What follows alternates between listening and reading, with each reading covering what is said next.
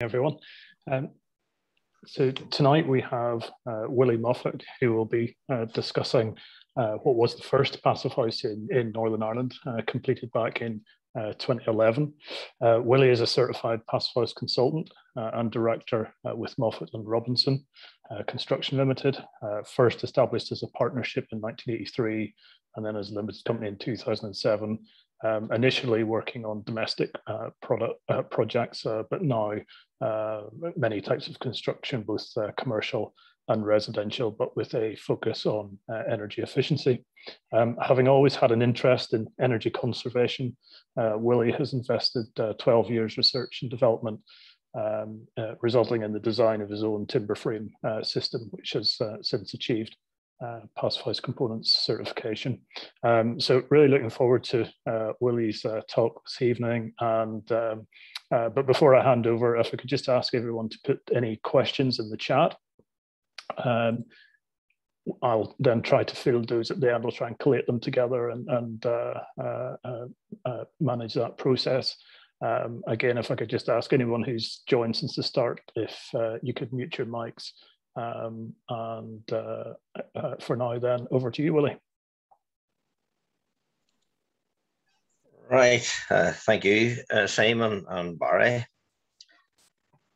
Uh, I've just lost my. Um...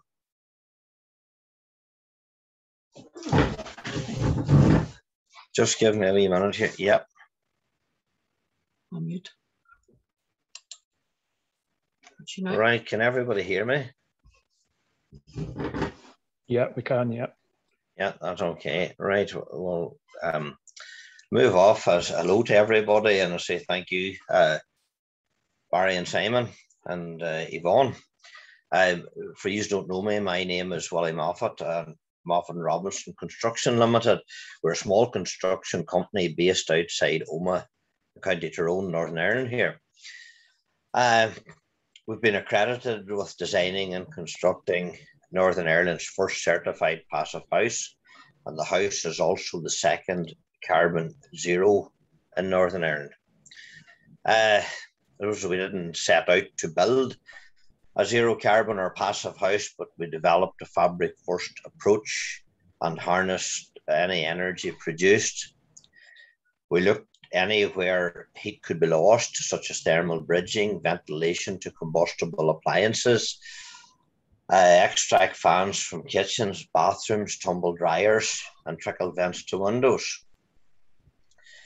Uh, we also looked at uh, where we could save energy, low energy lighting, using A-rated appliances with preheat facilities, and even a standard septic tank as opposed to a treatment plant uh, which can use up to 130 pounds a year um, in electric.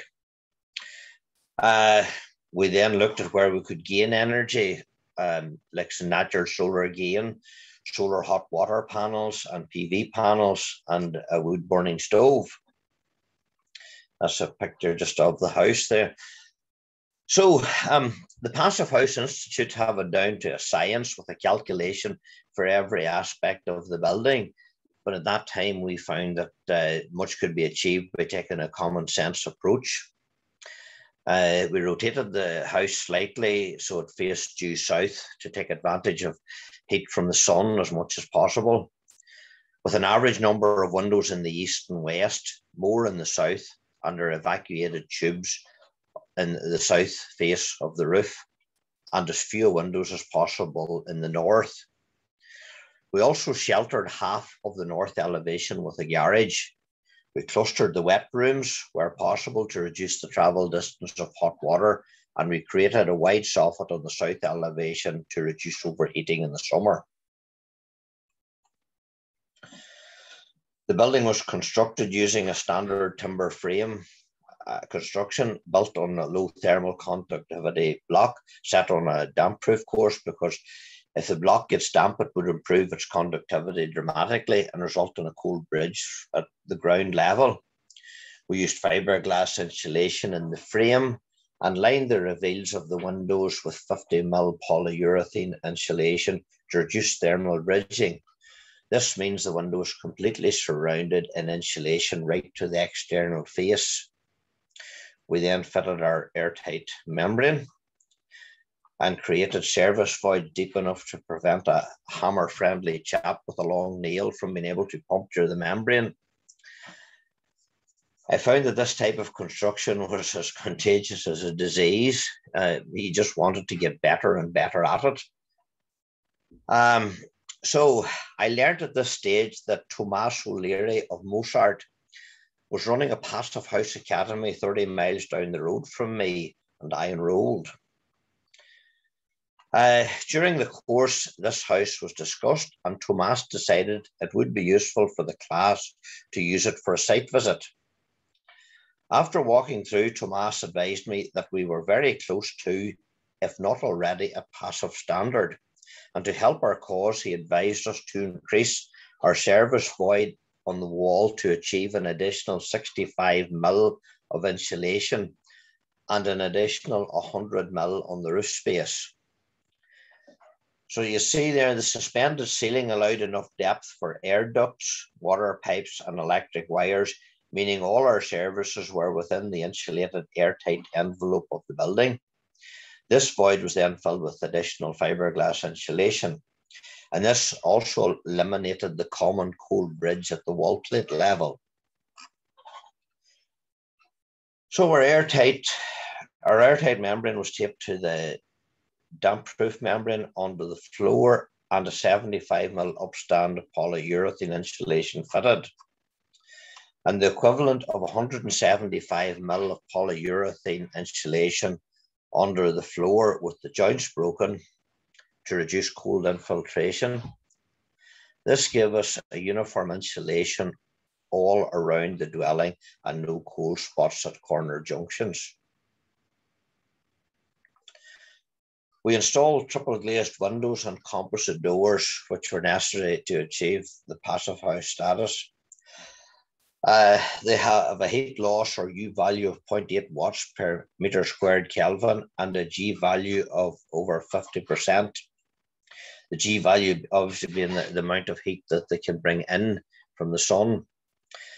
Uh, I did get an independent calculation carried out on our fitting detail and got a negative thermal bridge of minus 0.124 the composite doors have a U value of uh, 0.64. The walls, a U value of 0.11. The ceiling, uh, 0.07.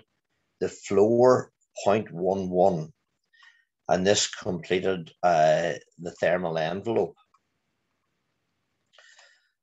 So the fitting of the mechanical heat recovery ventilation system eliminated the need for traditional extractor fans.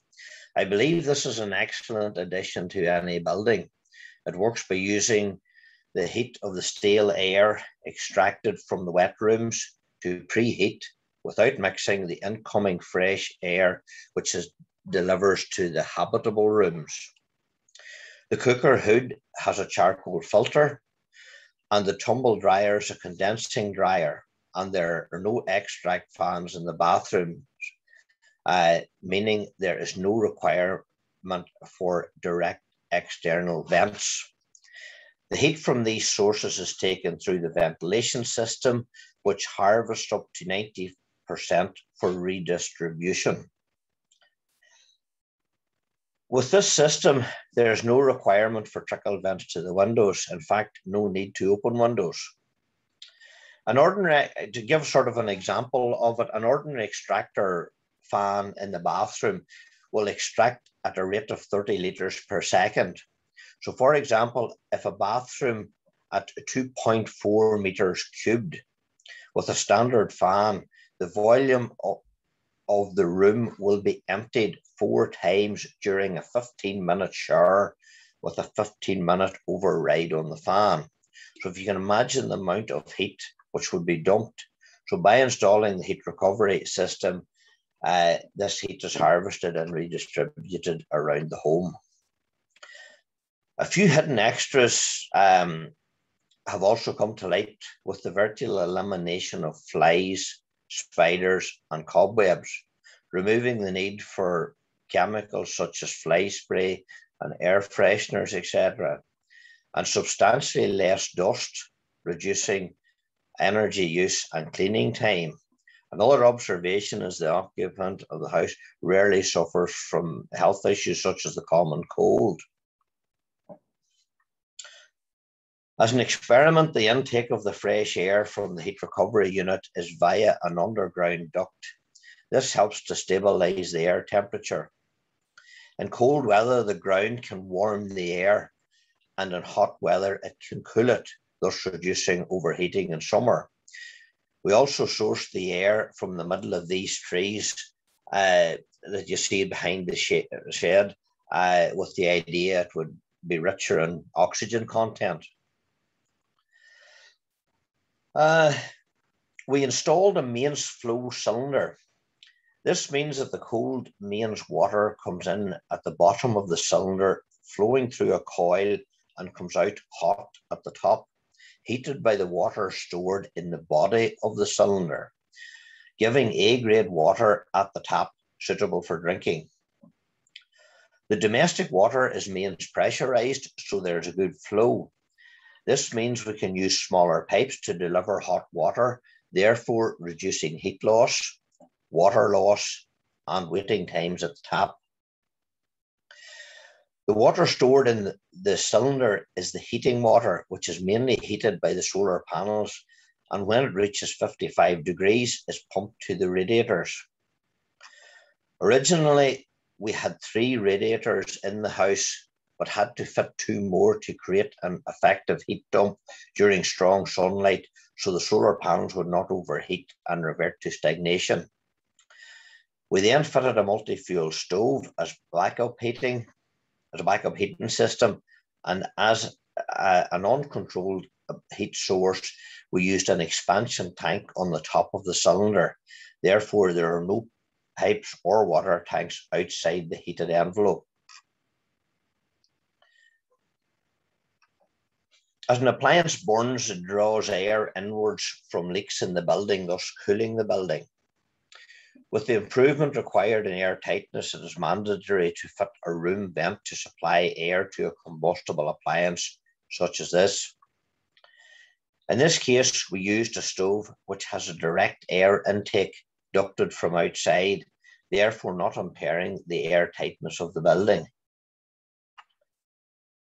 To date, the dwelling has recorded a continual 22 weeks without lighting the stove in the summer and 12 days continuous in the winter, as the solar panels are providing enough hot water and heating.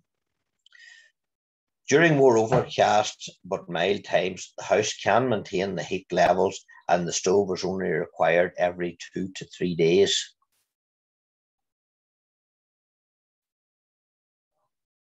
To achieve zero carbon status, we had to provide solar PV panels to generate electricity.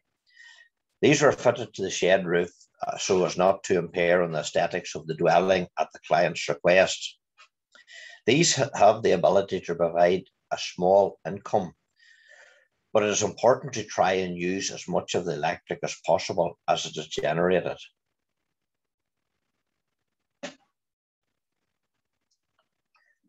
Right. Uh, the garage is dri- a drive through, so no reversing to burn fuel and remote doors to avoid getting wet. We fitted a vaulted ceiling and an electrically operated clothesline to double up as a drying area. Ease of access to the roof space is provided from the garage and doesn't impair on the air tightness of the house. So another quick addition was a water harvesting system. We were told the cheapest way to get water is via the mains. But to avoid future potential water rates, we made this low budget water harvesting system. Uh, it collects water at a high level tank. You see it there above the gas cylinders. And it flows by gravity to flush the three toilets and provide an outside tap it works very well and has mains backup for use in dry or freezing conditions. We also use Trocal PVC in the valleys instead of lead just to reduce contamination. And roughly at one millimeter of rain can fill the tank, which will flush the toilet for approximately two weeks.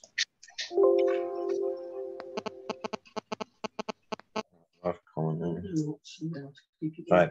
Uh, the wood stove uses approximately one and a third cubic meters of logs annually to provide backup for the heat and hot water.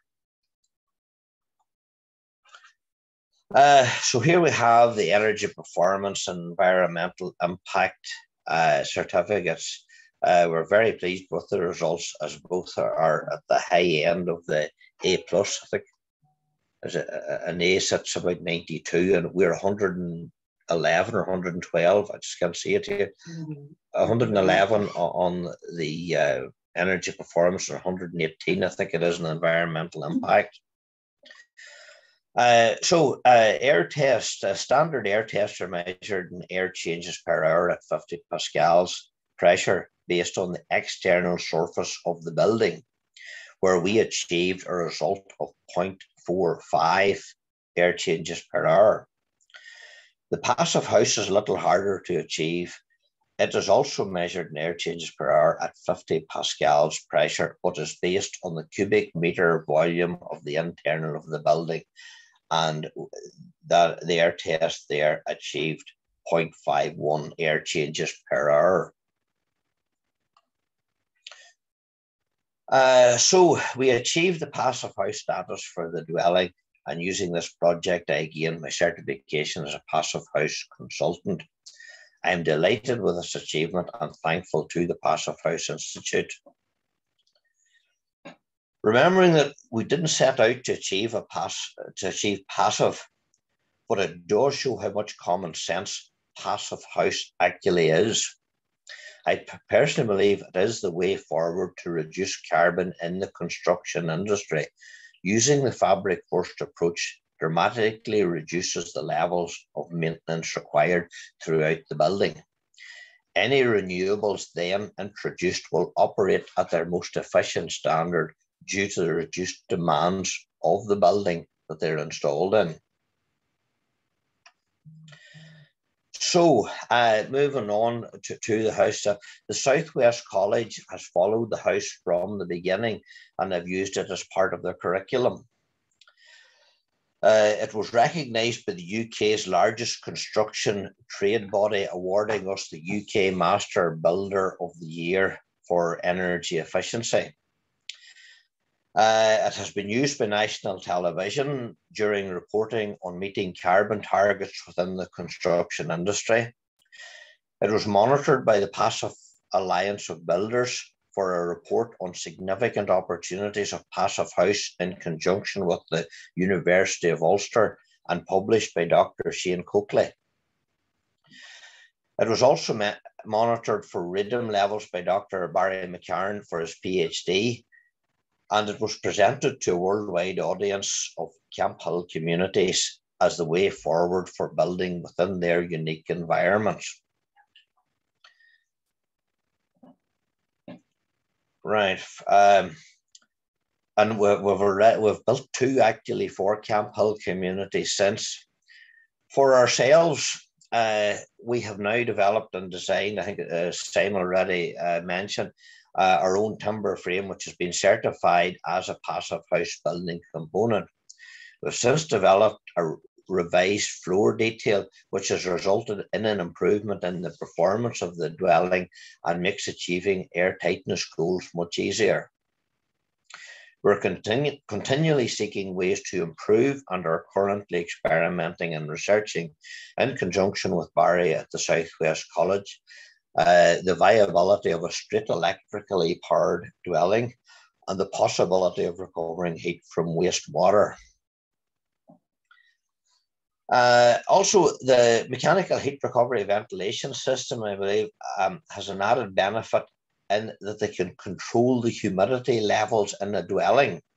Research has shown that if the level uh, of approximately 50% relative humidity is maintained, many viruses struggle to survive, and that would include COVID. So, uh, financial implications. Um, whilst there can be up to 7 to 10% additional cost over a traditional build, depending on the level of complexity of the dwelling, the occupant is rewarded with a lifetime of savings, something I am pleased to note the lenders are now taking into consideration. With this particular dwelling, it qualified for five years RICS exemption, an offer which was available at the time. The one and a third cubic meters uh, of logs are sourced from waste wood available on the farm. The renewable obligation certificates on the PV panels secured a small income. All these benefits resulted in a positive return during the period of RICS exemption. As for the homeowner, she is very happy with her home and her investment. She is now driving her second electric car as well and is proud of the fact that as a mother, grandmother, and great grandmother, she can still set an example to the future generations. So, passive house standards are stringent and difficult to achieve, but I feel that my experience shows that a small scale builder can reach this level, and I know the standards have to be stringent to maintain this exceptional quality of building. My approach now uh, is to use the passive house planning package at the start as it makes it life much simpler during the build process. So uh, that concludes my presentation and I hope if you have any questions, you're filling them in and we'll try and keep them answered. But uh, thank you very much for the opportunity and um, I hope you find that of interest and uh, maybe some of you be thinking of building that type of house. Thank you. Thanks very much, Willie. Um, really uh, interesting uh, presentation. Um, and I think, you know, huge testament to you who set, setting off on this journey more than 10 years ago. Um, and to, you know, be very close to passive house without you know even even really realizing it. Um you know i think says a lot for how you were going about uh, about your work.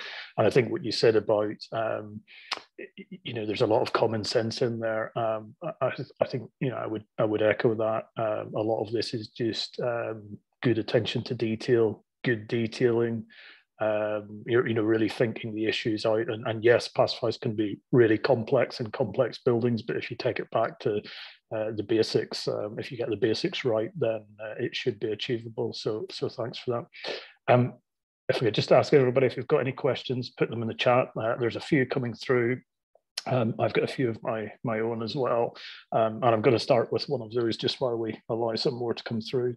Um, so, give, given that the dwelling was built 10 years ago and, and you've continued on your uh, sort of pacified journey, what, what would you do differently uh, today um, to you know that that uh, experience 10 years ago?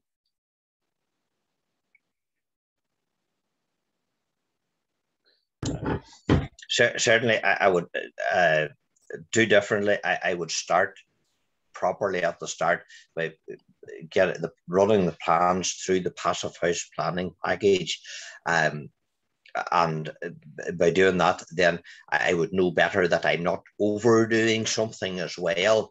Now, I, I we do overdo it a little. The, the, likes of the the walls uh, and the floor and all, you, you're looking 0.15 watts per meter squared Kelvin. We would now go down to 0.13. And um, so we're not trying to achieve it on the very minimum standards. And that would give you a little come and go elsewhere.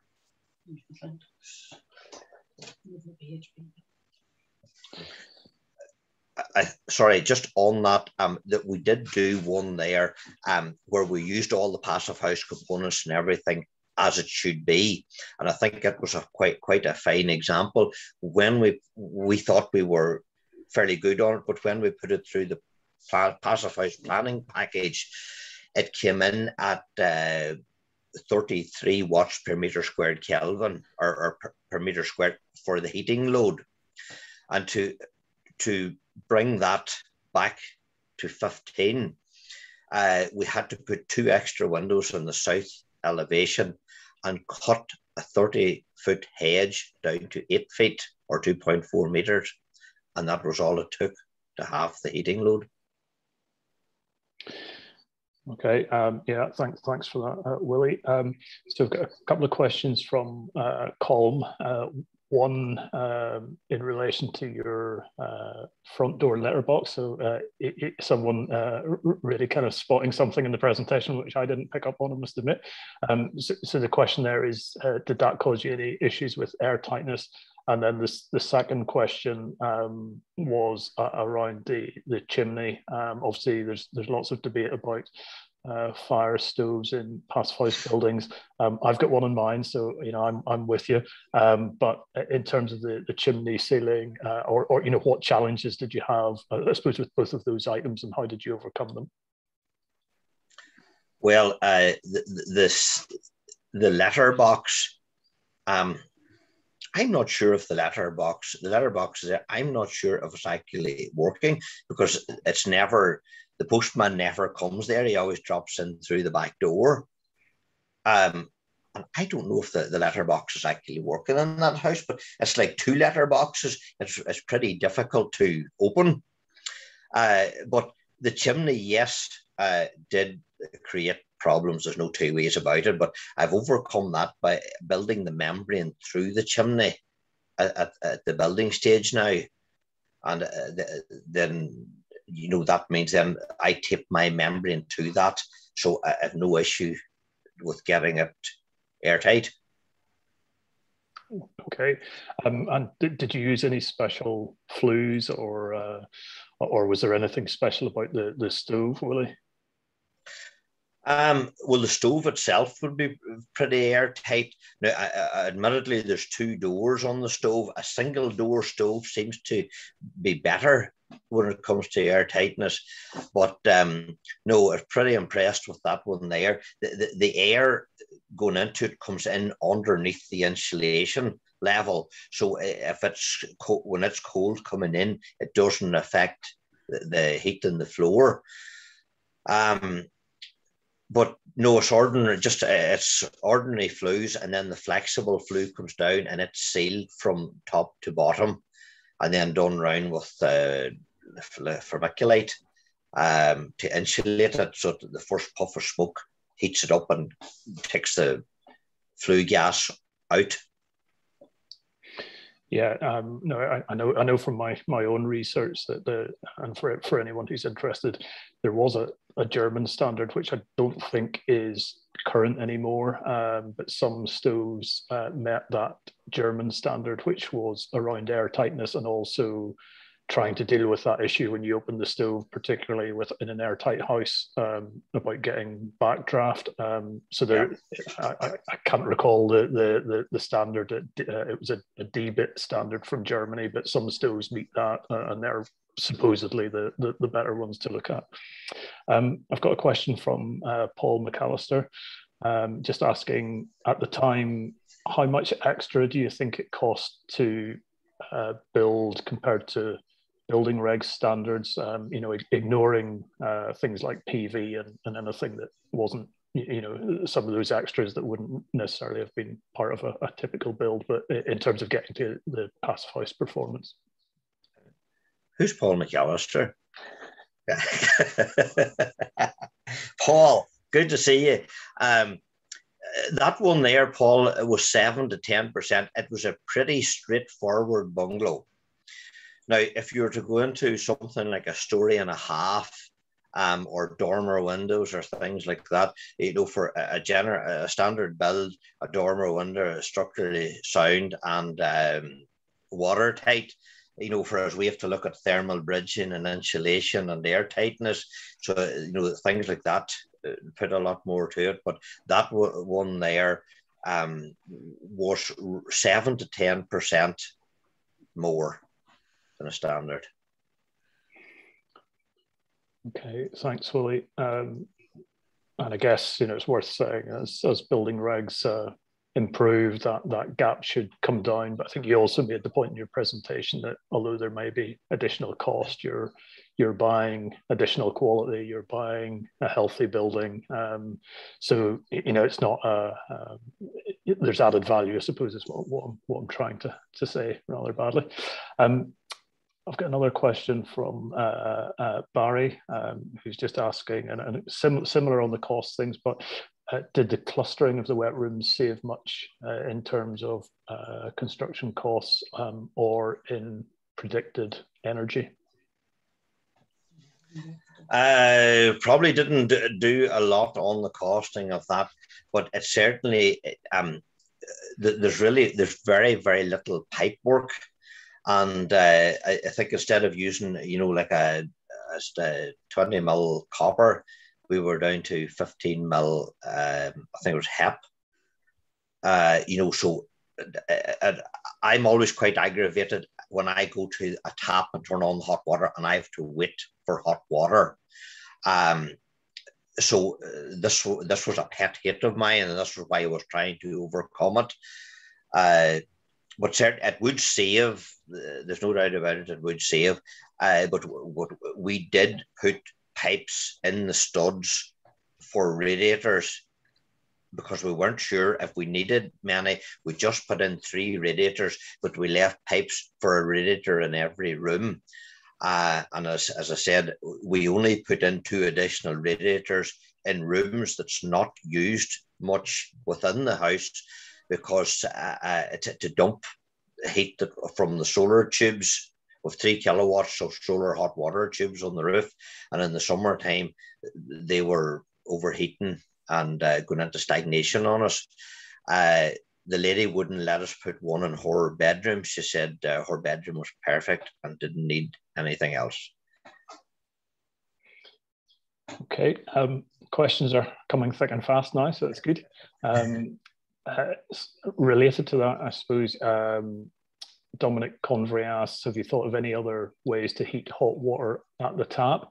Um, so, for example, would a would a boiling tap micro water heater uh, be a better method as opposed to piping um, uh, domestic hot water across uh, floors from the hot water cylinder? I, think this is something we, we we're beginning to see in particularly things like schools uh, where um, it's point of use uh, direct electric heating, but I'm not sure whether it, it, it stacks up for um, uh, domestic. But yeah, interesting to hear your thoughts on that, yeah. Willie.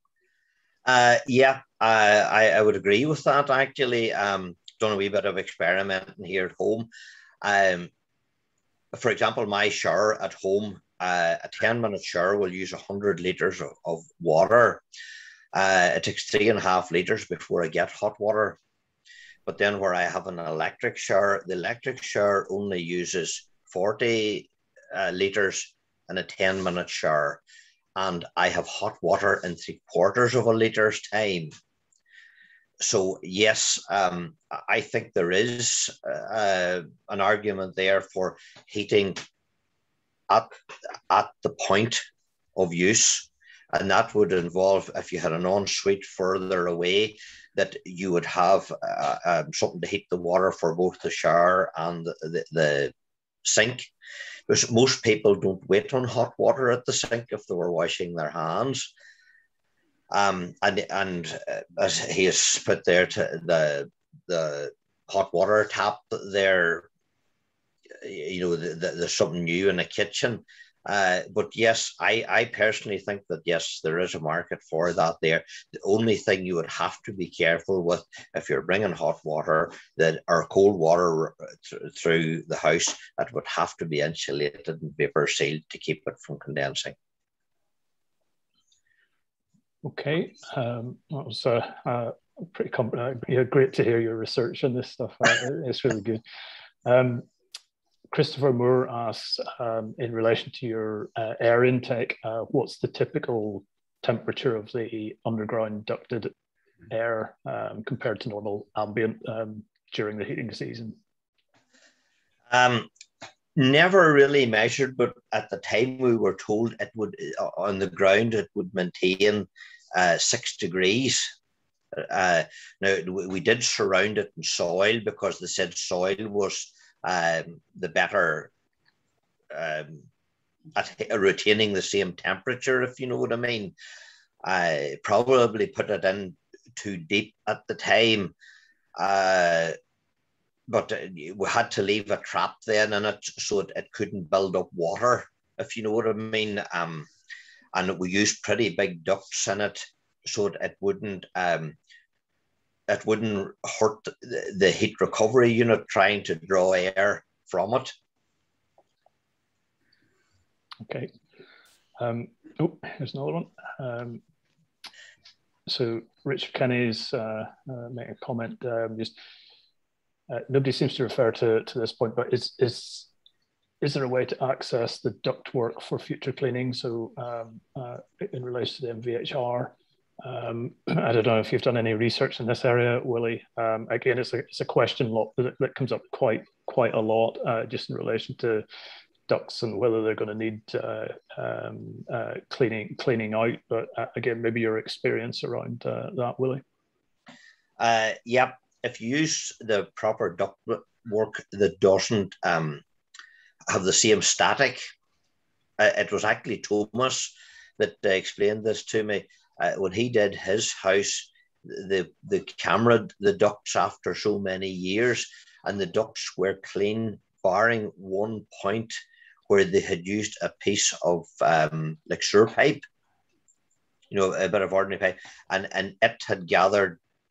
You, you know, if you look at a, a um, an extractor fan, uh, and you open it, that duct has gathered um, like fibers uh, that have sort of clung to the, the external of the duct.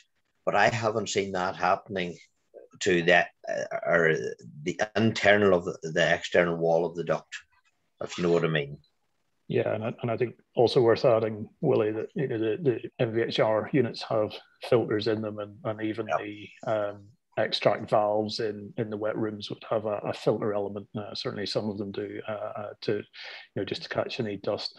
Um, and I think the the first house in, in Darmstadt's Wolfgang's uh, Feisson house, I'm pretty sure they uh, did some dismantling of that fairly recently, which um, you know where they looked at all of these things, you know, the, the, the cleanliness of the ducts, the longevity of uh, air tightness taping, and you know find everything to be pretty much as good as, as, as the day it was installed. So I, I think I think again it goes down to quality of installation, quality of storage uh, on site. You know, making sure the ducts aren't lying there with the ends open, and all of these kinds of things. So it comes back to the, the quality control aspect of um, um, of, of the standard. Um, Christopher Moore asks, and this is in relation to your uh, the, your placement of your uh, intake. Um, did you measure the improvement in, in oxygen levels uh, by placing the air intake cl close to the trees, or or is that a bit of a gut feel uh, type um, uh, thing? Um, no, I didn't measure it, uh, Christopher, and I when I was putting it in, I mentioned it to a guy. it was actually a German guy and I was explaining to him what uh, what I was doing, and maybe a week later he came back to me and he said, "I've been thinking about what you're doing," and he said, "When I was a child, I had glandular fever," and he says we lived beside a forest, and the only place I could go that I wasn't sick was out and sit in the forest, and that was uh, one of the reasons that I went ahead with it. Okay, um, we've probably got a couple of minutes and then we'll we'll go to our, our breakout rooms. So, I mean, maybe to finish off, Willie, I just wanted to ask the question, maybe roll a couple of things uh, in together. Um, first of all, how, how has this project, I suppose, influenced everything you've done since? Um, and secondly, uh, I, I know a lot of your team are um, uh, qualified through the Pacified Tradespersons uh, course. I'd be interested to hear just you know what the response from you know the team, the guys that are that are working for you um, to to the House uh, standard. and how have how have they found that uh, transition, or, or or maybe it wasn't much of a transition for them, but just that experience. Uh, well, when I started this house in particular ten years ago, um, they were looking for a room in the local institution for me. Uh, they, they, they just couldn't understand what was wrong with me. Um, but then as they went along and they realized just how good the house was, um, for a lot of them went about with a wee chip on their shoulder, you know, and they're sort of proud now of their achievements and they're all looking into it. So, um, and they would come with wee ideas, if you know what I mean. Um, now, so yeah, it, it definitely helped them, and uh, they know now that they are producing a good product, and uh, yeah, for a tradesman, it's um, it's good, and it's what a tradesman likes to do. Yeah, no, that's uh, that's good to hear. Okay, well, thanks very much, Willie, for your presentation and answering, you know, uh, all those questions and uh, uh, you know sharing your experience and and, and knowledge with us. Um, just going to ask Yvonne now if she could uh,